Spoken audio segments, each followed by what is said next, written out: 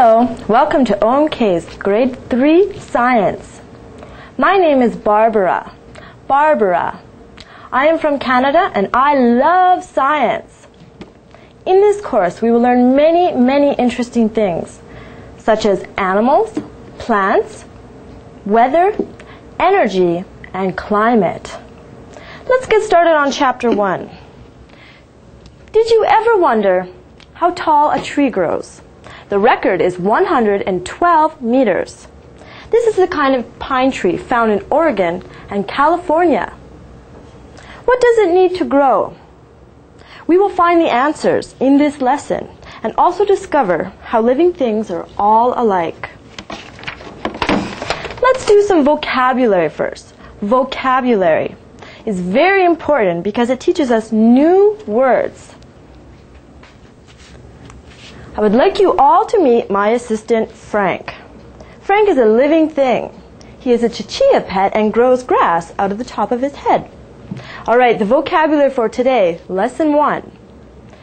New words. Number one, organism. Organism. Number two, reproduction. Reproduction. Number three, environment, environment. Number four, respond, respond. Number five, cell, cell. Now we will learn all about these words today in lesson one.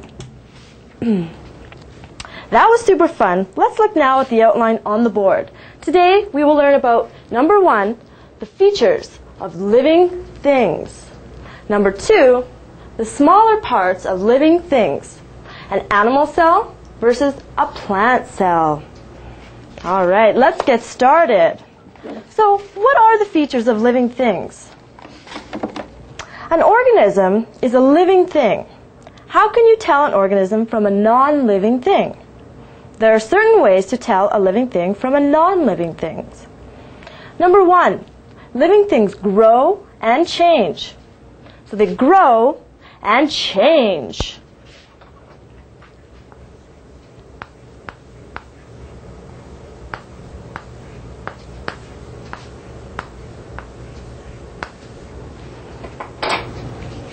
A living thing grows. It starts out very, very small.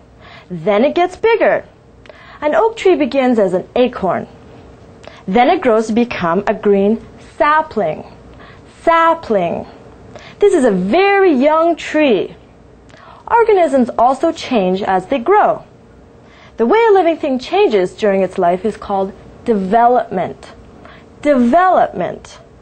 As an oak sapling grows, the branches and trunk become thicker and stronger. Let's look here on the poster.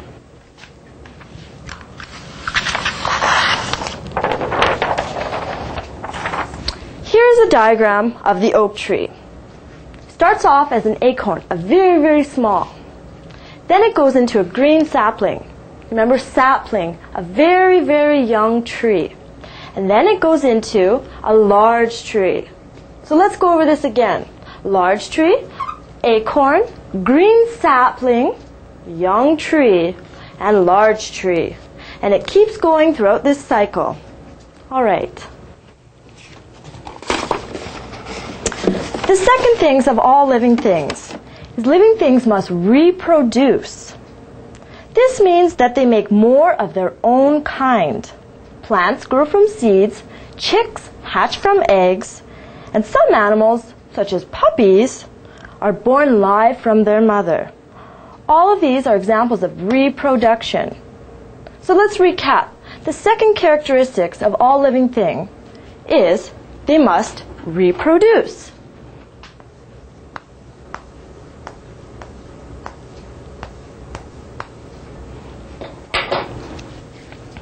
How is a puppy similar to its parents? Some new living things or offspring are not exact copies of their parents. Instead, they have characteristics of both parents. Most animal offspring, including you, are not exact copies of your parents. Let's take an example. Notice that the puppies, they look like their mother, but they are not exactly alike. It is true also for flowers. I've got a little demonstration. If we take a red flower and a yellow flower, and these are the parents, its offspring will be an orange flower. Notice that the orange flower is not exactly like its parents, but it does share similar characteristics. So the red and the yellow flowers make an orange flower. All right, excellent.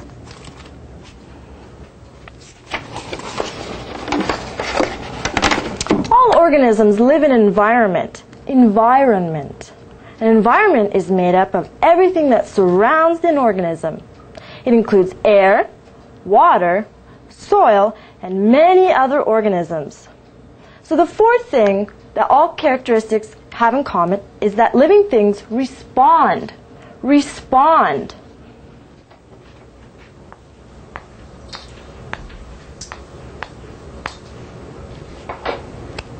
When environment changes, an organism may respond to that change. To respond is to react all living things respond to many changes. Both plants and insects respond to light. Plants grow towards light and insects fly toward it. The leaves on some trees respond to change in a season. In autumn, they turn colors and then fall off the branches. Animals also respond to change in a season. Bears eat a lot of food as winter nears. Then they sleep the rest of their life in the winter in a cave. You respond to your environment in many ways too. You may shiver when you are cold. Can you think of any other ways that you may react to your environment? Such as sweating when you're hot. There are many other examples. I would like you to think of some on your own. All right, let's look at the demonstration up here on the board.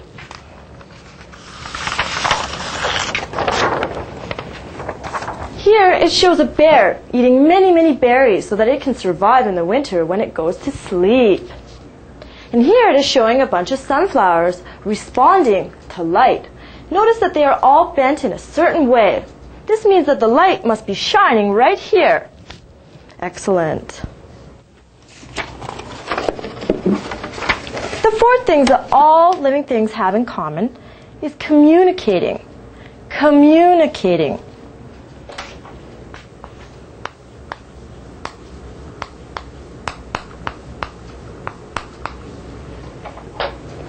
Most living things communicate, which means to share information. To communicate, organisms send, collect, and respond to signals. They communicate in many ways. Fireflies flash lights to attract males. Some birds sing to mark the area where they live. The blackbird will sing a song saying to everyone, This is my territory. The cuttlefish changes color and texture. This alerts other animals that it is looking for food. To receive communications, living things use their senses. The sense of sight, smell, hearing, and touch. Excellent. Let's go to the board now. This is the cuttlefish. It changes color to let other animals know it's looking for food. And this is a picture of the blackbird.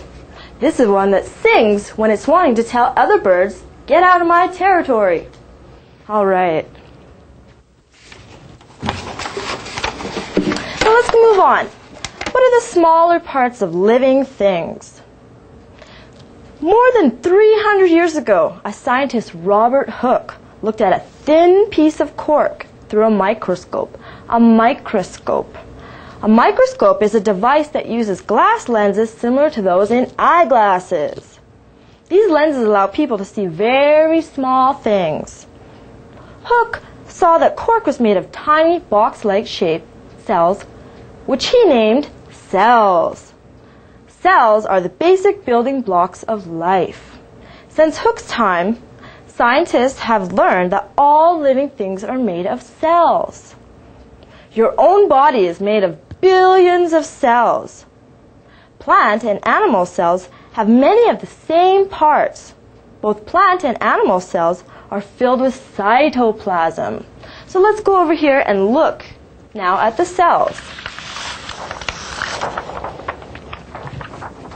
This is the microscope, the device that lets you see very, very small things. This is a picture of a plant cell, and this is a picture of an animal cell. So what do they share in common? That is an excellent question. Let's look now at the picture. Both share a nucleus. A nucleus. You see, in the animal cell, the nucleus is located here, and in the plant cell, the nucleus is located here. All right, what else do they have in common? That's right, a cellular membrane. A cellular membrane is the outer covering of the cell. Do you see? In the animal cell, the cellular membrane is here. Excellent. So back to talking about the cytoplasm. The cytoplasm is a clear, jelly-like material located right here in the middle of everything. Cytoplasm, cytoplasm. All right, so the plant cell and the animal cell have three things they share in common. Let's think about this. All right, let's write this down. So they both have a cytoplasm.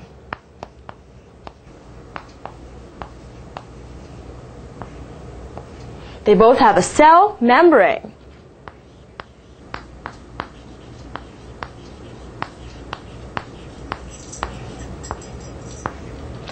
And they both have a nucleus, a nucleus.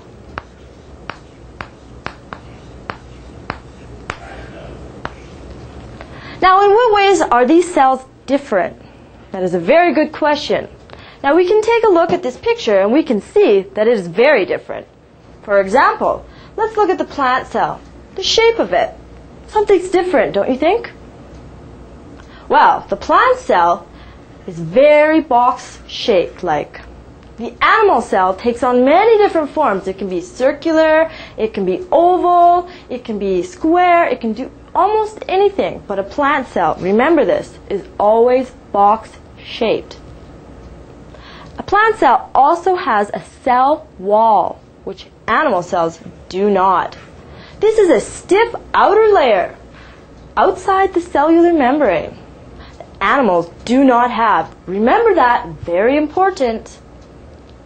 Most plant cells also have something we, call chloroplast. Chloroplast. Let's look here now at the picture and find the chloroplast. Can you find it? I did, right here. Chloroplasts make food. The animal cells do not have chloroplasts. Excellent. Let's go put this down here. So the plant cell has what difference does it have? It's very box shaped.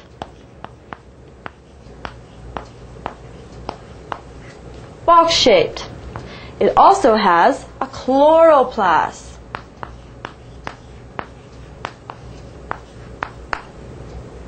What else does it have? Can you guys remember? That's right, a cell wall.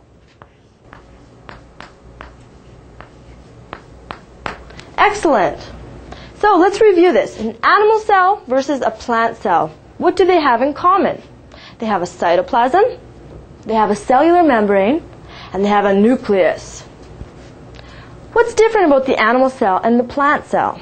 Well, the plant cell is box-shaped, it has a chloroplast, and it has a cell wall. Excellent.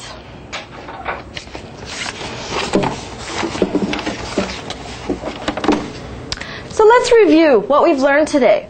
Number one, the features of living things. Do you remember them? There's four of them. That's right. Number one, they must grow and change. Number two, they must reproduce. Do you remember what we saw with the flower? The red flower and the yellow flower making an orange flower. Excellent. Number three, what is the third thing? They must respond to environment.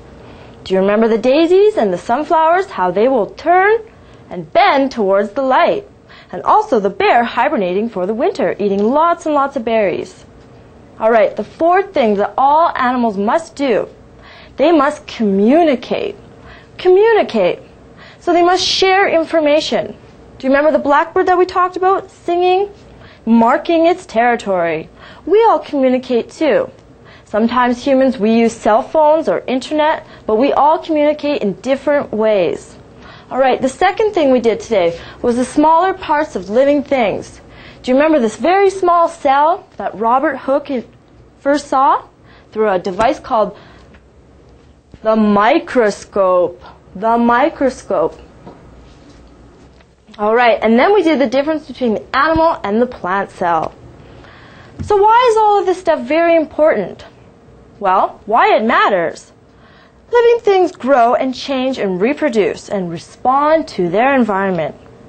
It is important to be able to identify living things. Only living things are made of cells. Each cell in your body is a living thing. But a cell cannot live by itself. Each of your cells must live as a part of a larger thing, which is you. Excellent. Okay, let's do some questions now. Think and write. So let's think about this. Number one says, What is an organism? So, what is an organism? I'll give you a moment to think about that. All right, I know the answer. An organism is a living thing. Okay, number two. How is a living thing different from a non living thing? Do you think about that? This is a very hard one. No, it's easy. I'm kidding. I'm kidding. Okay, so what classifies a living thing? Remember, they must grow and change. They must reproduce. They must respond. And they must communicate. Excellent. Let's go on to number three. What features do all animal and plant cells have in common? This is an easy one. Do you remember? We have the cytoplasm, the cell membrane, and the nucleus.